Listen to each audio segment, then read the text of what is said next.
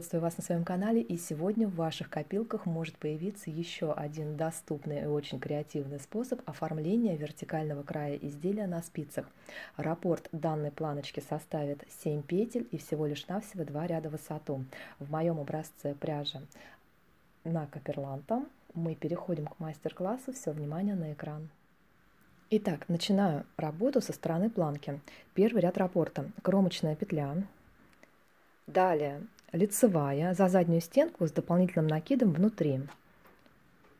Изнаночная петля потом последует. Затем 3 изнаночные петли, которые мы переносим обратно на левую спицу. И рабочую нить держим перед работой, не натягиваем. И каждую из еще раз провязываем, но теперь уже лицевой.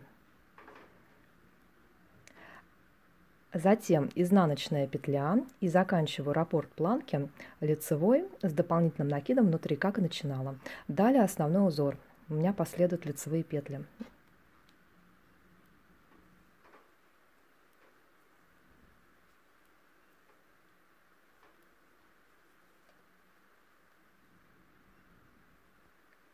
Теперь второй ряд, он будет заключительный для раппорта планки, и я его начинаю со стороны основного узора. Кромочная петля, вяжу пока лицевыми,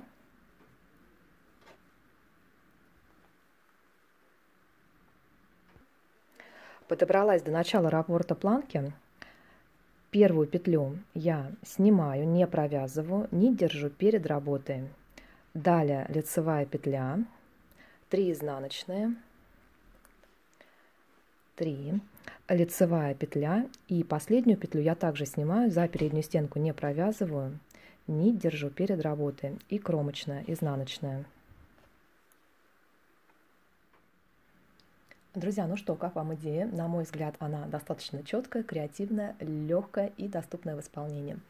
Обязательно сохраняйте ролик, он вам пригодится. Ставьте лайки, позитивные комментарии приветствуются.